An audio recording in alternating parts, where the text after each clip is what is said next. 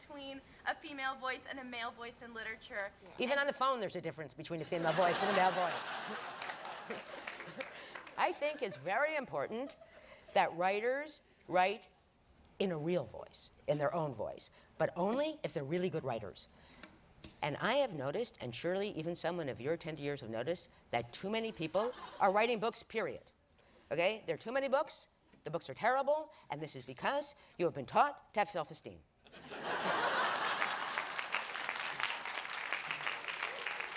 and apparently, you have so much self esteem that you think, you know what? I shouldn't keep these thoughts to myself. I should share them with the world.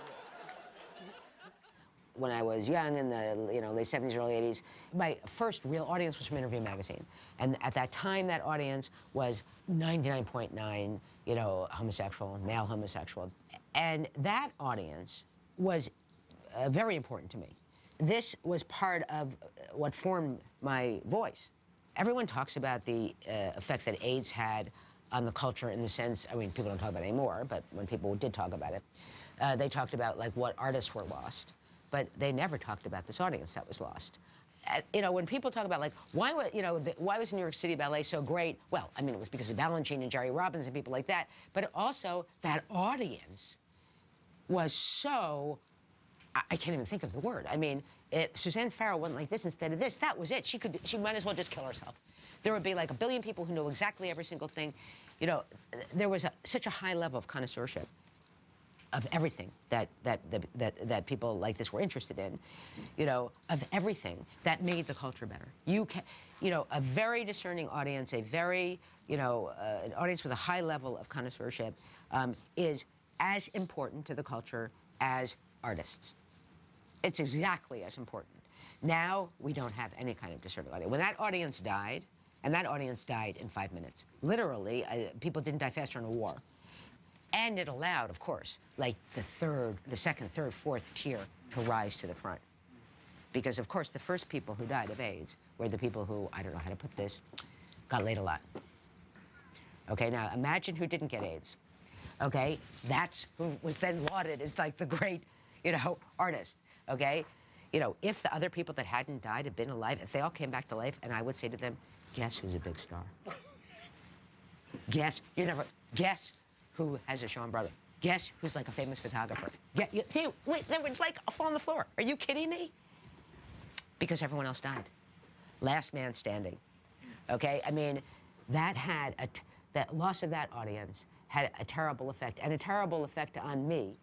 Uh, I mean, by which not just a sad personal effect on me, but a terrible effect on me because everything has to be broader. I mean, I don't do that, you know, but everyone else did. You know, everything has to be more blatant, more on the nose, broader, you know, because obviously they're not going to pick up little subtleties.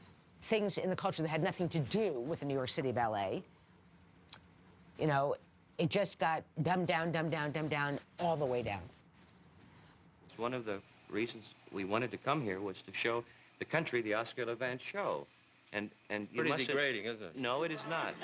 It's probably the most brilliant wit on, on ever You on know, you must ex- television. understand about wit. Wit's very infrequent. You mentioned so-called wits, and they've said two or three things in their whole lifetime. Almost. It's I true. know, I know. Now, humorist is something else. Yeah. You know, that crackle-barreled, aw shucks Charlie Weaver stuff who gets off color every now and then. Uh, that's, he's really. I, I don't dig my toe in, I'm not a crackle-barrel philosopher. Well, a humorist is just a comedian that scratches. Isn't that more or less what No, a humorist is somebody like you who has four writers and then ad libs for the rest of No, that's It's hard being his friend, I'll tell you that.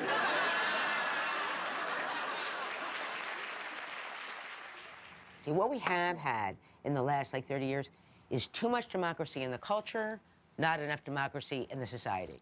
There's no reason to have democracy in the culture. None. Because the culture should be made by a natural aristocracy of talent. Okay? I mean, by which I mean, like, no, it, here's, it doesn't have to do with, you know, what race you are, or what country you're from, or what religion you are. It should have to do with how good are you at this thing. And that is a natural aristocracy. No, your book is not as good as anyone else's book. You know, no, you know, your life story would not make a book, good book. Don't even try. You know, I, I had to introduce Toni Morrison as something to give her an award she has not received enough. And you know, since everyone was like gathered there, see Toni gets her eight millionth award. I said, um, since you're now that I have you all here, I just want to say one thing. When Toni Morrison said, "Write the book you want to read," she did not mean everyone. Okay?